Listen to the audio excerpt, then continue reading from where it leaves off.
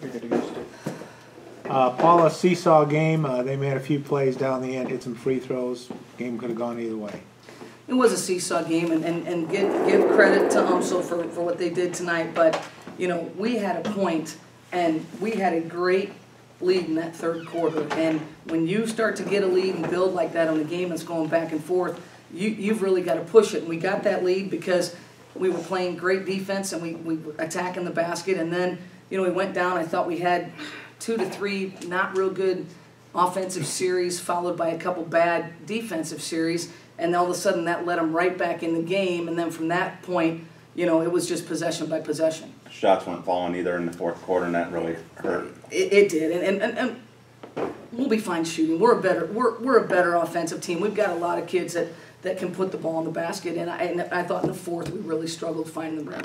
Can I assume there's a lot of teaching moments out of today's game moving forward? Yeah, absolutely. I mean, I, you know, we're not happy with this. We're obviously going to be very frustrated with it, but I think it's a, you know, whether it's a wake up or whether it's a challenge or what that is. I know, I know our team will take that as such, and we just have to stay locked in each and every possession. I thought we played some great possessions, and then it come down late, and we just have, you know, it might be one breakdown late where they'd attack on us and we foul or something like that. But we, we've got to we've got to play solid defense. I was a little bit. Um, I'm frustrated with the rebounds. I think we're a better rebounding team, and we, we can't allow that many rebounds. Yeah, they out rebounded forty to thirty-six, and, uh, Laporta came off the bench, did a good job for him, thirteen points and ten, and, uh, Fletcher hit some, uh, key free throws there at the She end, hit too. some she hit some big shots down there late on the free throw line, and and uh, you know eleven. I thought I thought did a great job. Just she just got the ball and was just aggressive. She just put it off the bounce and took it. Uh, Lauren came through with some good, big plays for you at the end to bring you back. She did. I thought we were struggling a little bit offensively, and um, we ran a couple things for Lauren, and honestly, she executed perfectly and, and attacked the rim just like she needs to and finished. Looking at the season wise, I mean, you gotta be excited to bring back the core that you do bring back, a lot of experience. Yeah, we've got we've got a lot of experience. I think you know this is going to be a good ball club. We've got a lot of work to do to get to that point, obviously. And as long as we buy in and we know the workload that we have to put in, I think we'll be fine. But we've got to, you know, we've got to step up and make sure we're putting in the work daily. And you know, part of that's going to be getting in a lot of extra shots because when it came down late in the game, you know, I, don't think it was our legs. I don't think it was anything like that. But we've got to be able to drop some more shots and play a little bit more solid. Of the new faces tonight, what'd you see?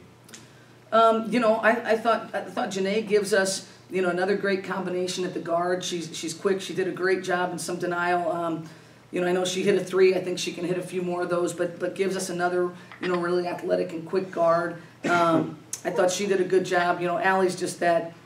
Allie's just going to play hard all the time. You know, she's going to come in and and she's not afraid of contact. She's not afraid to bang and fight. And and I thought she you know she came in and gave us some great minutes. And I, I think the one that um, you know, did a great job was Lyric Boone coming in there in the first half when we had our post and foul trouble, and, and she came in and, and gave us great minutes with rebounding, scoring, and, and everything. I thought she did very well. And it looks like you can kind of pick your matchups. I mean, there looked like at one time Donshel might have been the tallest player on the floor for you, it's almost like a five guard.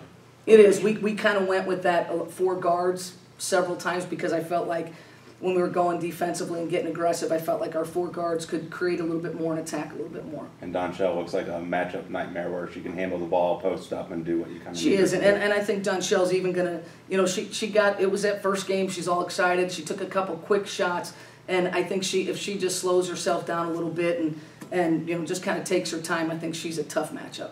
It looks like you can go small or big there depending on the situation and maybe depending on who's playing the best, who, maybe it's who, uh, plays the most, plays the best. We can, and I, and I think the biggest challenge when you go small is the rebounding. Yeah.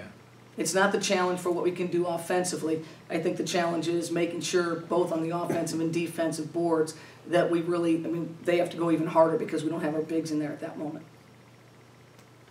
Okay, Paula, thank, All hey, right, thank you. next games, they start counting, don't they? It's going, it's on. Thank you. Yeah. Yep. Lauren, can we get you for a second? Yeah. Spotlight on here. Yeah, all you. They made some nice plays down the stretch, but they, uh, they seem to make just a couple more plays than you did. Um, yeah, I give them credit that every time, you know, we, we made a mistake, they definitely took advantage of it. So I give them credit for just, you know, continuing to push on throughout the game. How much urgency is there for you going into this season? It's your last year here, you're in your hometown. Um, I definitely want to make this season count. Like you said, it's my last season. It's hometown, and I like the group of girls. You know that we have. We're all returners, and it's the last for a couple of us. So I think our goal is to really just continue to get better each and every day, and try to win that OVC championship and continue. And it looks like you guys can kind of, maybe not just one player steps up, it may not be Beck, it may not be you, but it could be Bell, it just seems like it could be any of you.